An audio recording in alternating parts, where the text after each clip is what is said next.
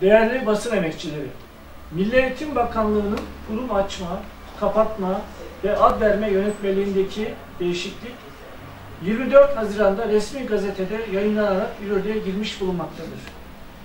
Yönetmelikteki değişiklik Milli Eğitim Bakanlığı'na bağlı her derece ve türdeki okul, merkez, pansiyon, uygulama oteli, öğretmen akademisi ve hizmet içi eğitim enstitüsü, olgunlaşma enstitüsü ile sosyal tesislerinde abdesthane ile kadın ve erkek için ayrı ayrı mescitler zorunlu hale getirilmektedir. Bu değişiklik ile Cumhuriyet'in nitelikleri ayaklar altına alınıyor. Okullarda ayrımcılık, fesat ve fitne fitileniyor. Toplum huzuru, milli dayanışma, insan hakları, Atatürk milliyetçiliği, demokratik, layık sosyal devleti ilkeleri çiğneniyor.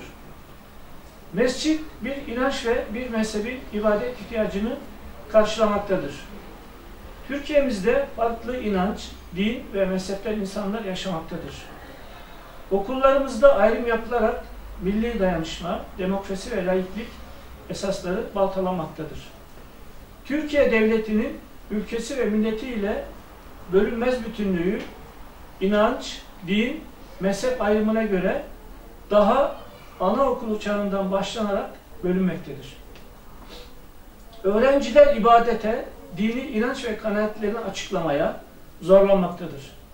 Yine bu uygulama ile devletin sosyal, ekonomik, siyasi ve hukuki temel düzeni din kurallarına dayandırılarak laiklik ilkesi çiğnenmektedir. Eğitim kurumlarında FETÖ ve benzeri yeni fesat yuvalarının örgütlenmesine zemin yaratılmaktadır.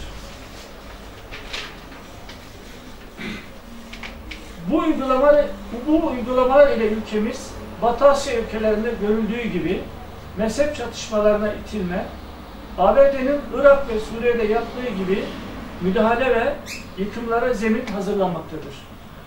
Kürdistan adı altında ikinci İsrail projesi gündemdeyken Türkiye'yi iç cephede zayıflatacak olan bir uygulama İsrail'in ve ABD emperyalizminin iç savaş planlarına hizmet edecektir.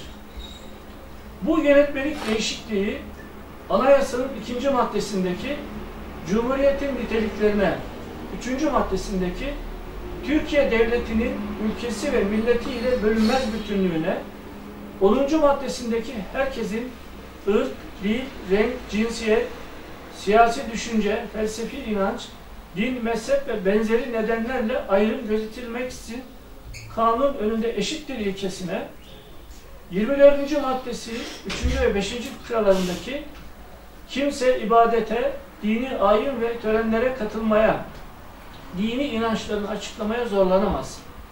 Kimse devletin sosyal, ekonomik, siyasi veya hukuki temel düzenini kısmen de olsa din kurallarına dayandırmaya çıkar yahut nüfus sağlama amaçlı din duygularını istismar edemez, kötüye kullanamaz hükmüne 42. maddenin 3. ve 8. fıkraları eğitim ve öğretimin esaslarını belirleyen hükümlerine aykırı olduğundan Vatan Partisi yönetmelik değişikliğinin iptali için Danıştay'a ve Anayasa Mahkemesi'ne başvuracaktır.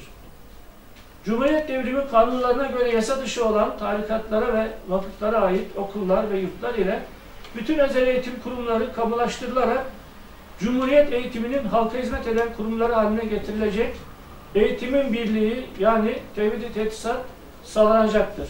Saygılarımızla.